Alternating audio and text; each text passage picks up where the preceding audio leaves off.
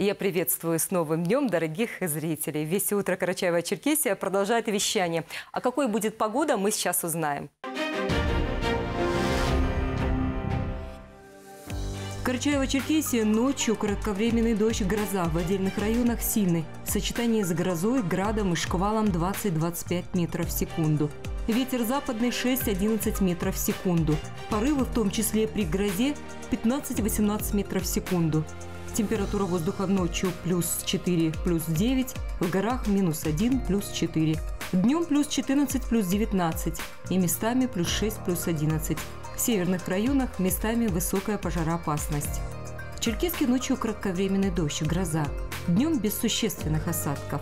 Ветер западный 6-11 метров в секунду. Порывы в том числе при грозе 15-18 метров в секунду. Температура воздуха ночью плюс 6 плюс 8, днем плюс 17 плюс 19 градусов.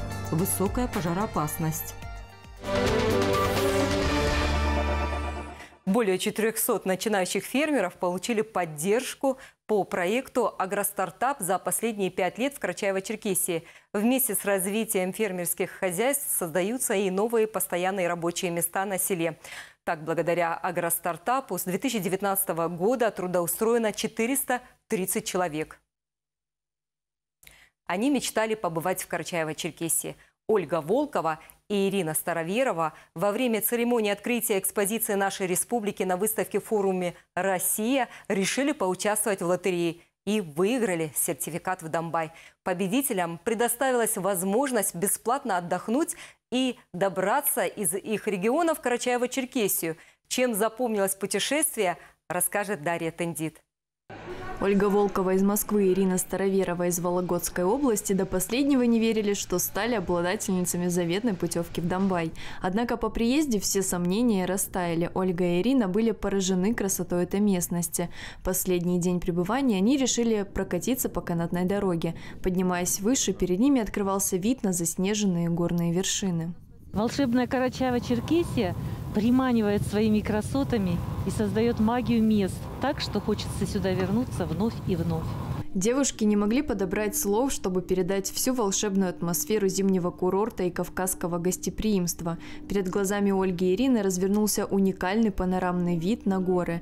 Они делились впечатлениями и обсуждали увиденное. Впечатления у нас потрясающие. Впервые здесь оказавшись, нам понравилось буквально все.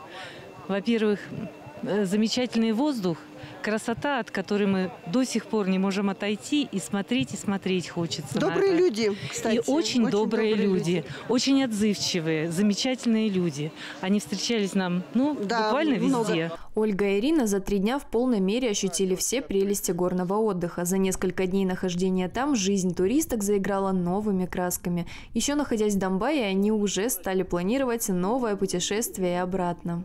Ваш заповедник, заповедник Тибердинский. Тибердинский мы туда спустились, там все посмотрели, все-все-все обошли, зверей покормили, потом спустились, нам сказали, здесь озеро есть. И мы, значит, Каракюль, Каракюль озеро да, смотрели. Озеро. Обошли все озеро, там пофотографировались. Обязательно вернемся. Мы обязательно вернемся, да. Мы изучим до конца. Мы, мы хотим еще съездить в Архыз. Нам очень... В августе. Да, очень хочется попасть на водопады. Дарья Тындит, Вести Карачаева-Черкесия, Домбай. Через несколько минут в эфир выйдет информационный выпуск «Вести на абазинском языке», затем программа абазинской редакции. Более подробно о новостях сегодняшнего дня в следующем информационном выпуске в 14.30 вместе с Муратом Джанкиозовым. Я с вами прощаюсь, удачи и до встречи.